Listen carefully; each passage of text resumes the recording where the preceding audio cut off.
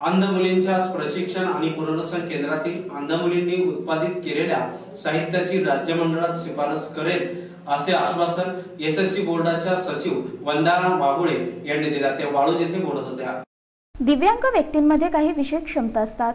त्या ओळखून आपापल्या परीने ते ध्येय गाठत आहे.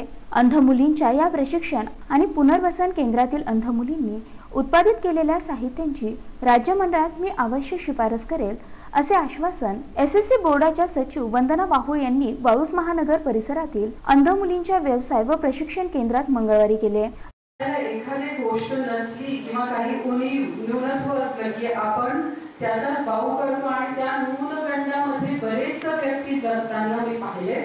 त्यांना असणाऱ्या विविध मानसिक त्रासांचं सुद्धा मी दर्शन घेतलेलं आहे. मी जेव्हा एम एस सायकोलॉजी माझं झालं होतं काही ठिकाणी आम्हाला विद्यार्थ्यांना काउन्सिलिंग करायचं होतं.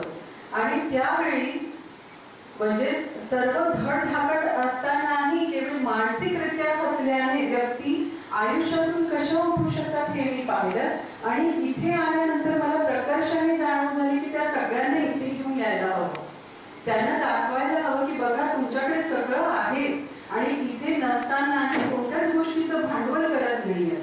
राष्ट्रीय दृष्टीहीन संगम महाराष्ट्र संचलित आर एस बाहेती या अंध मुलींच्या व्यवसाय आणि प्रशिक्षण केंद्रातील अंध व अपंग मुली दहावी आणि बारावीच्या वर्गात शिक्षण घेतात.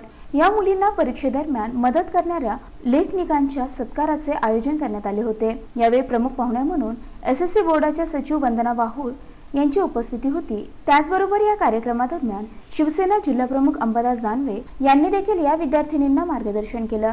परंतु मला ते सामाजिक जबाबदारी म्हणून ही संस्था ही शाळा चालवत असताना या शाळेतून सुद्धा आपला हिंदुस्थान आपला देश आपला समाज घडवणारी चांगली पिढी शाळा निर्माण करते. हे कार्य आपल्या हातून सातत्यानं घडत? राहो या मी नवीन वर्षाच्या दिवशी ईश्वरच्याने प्रार्थना करतो. या संस्थेला शुभेच्छा देतो. संस्थेला शुभेच्छा असताना सगळ्या मुलींनी बारावी चांगल्या मार्गाने पास व्हावं याही शुभेच्छा करतो ज्यांनी त्यांची परीक्षा दिली म्हणून पार पाडली. त्यांचं भविष्य चांगलं ईश्वरचरणी प्रार्थना करतो. या कार्यक्रमाचे प्रास्ताविक प्रकल्प समिती सदस्य सोपानराव वरकड तर सूत्रसंचालन प्रकल्प व्यवस्थापक रघुनाथ बराड आणि आभार घोगरे यांनी मानले. हा कार्यक्रम यशस्वीतेसाठी ज्ञानेश्वर वरकड सोनाली मुटकुळे यांच्यासह अनेकांनी परिश्रम घेतले.